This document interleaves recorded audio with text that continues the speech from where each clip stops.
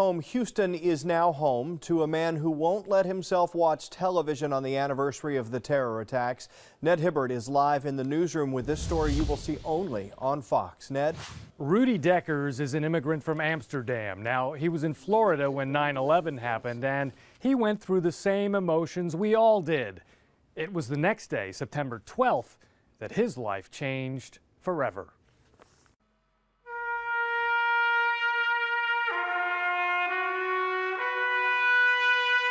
If only he'd known then what he knows now. Rudi Dekkers can point to just one thing he'd have done differently. And if I would have listened to my heart, I would not be here.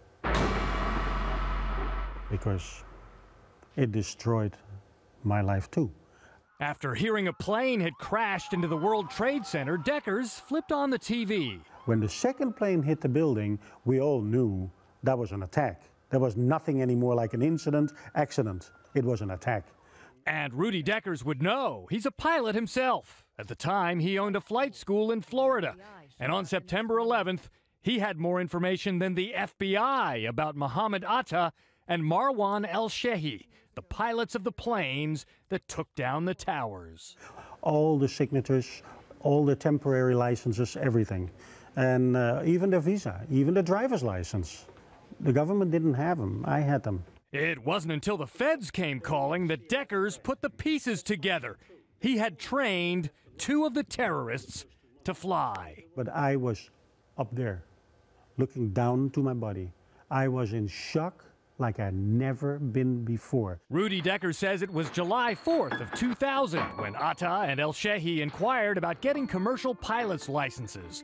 He immediately got a sinister vibe from Atta, took to calling him Dead Man Walking. But Dekkers took their money and for six months tried to train them.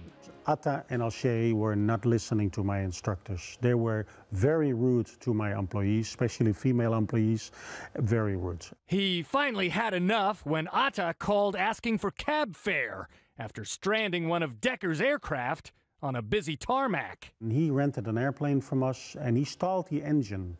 And on the taxiway in Miami airport, he left the plane sitting there, stepped out the plane like Nothing is going on. Rudi Dekkers kicked the pair out. Never heard from them again. Until this. Nothing would ever be the same. Dekker says he lost everything in the aftermath. He's written a book called Guilty by Association. He moved to Houston, where he makes his living as a keynote speaker. But the past throws a long shadow. One World Trade Center now rises from ground zero as a nation tries to pay its respects and yet move on. Rudi Dekkers doesn't feel it. It's fantastic for the public to see that America supports the families by putting such a huge building and monument there. That's, I think, done for the families and for the Americans. Personally, I don't have a feeling there. What he does feel isn't exactly regret but there is a part of Rudi Dekkers that sensed evil in Muhammad Atta, and he ignored it until it could no longer be ignored. I should have listened to my inner self. I didn't like Atta. And I get goosebumps now. I um, disliked him. Um, my whole body is now tintling. I really disliked him before he said a word to me. Maybe his aura, I mean, I'm having, you know, really a physical reaction right now again about him. Maybe I should have listened to myself. If you don't like somebody, don't do business with somebody. It would not be different for America because he would have been somewhere else. But I would not be involved.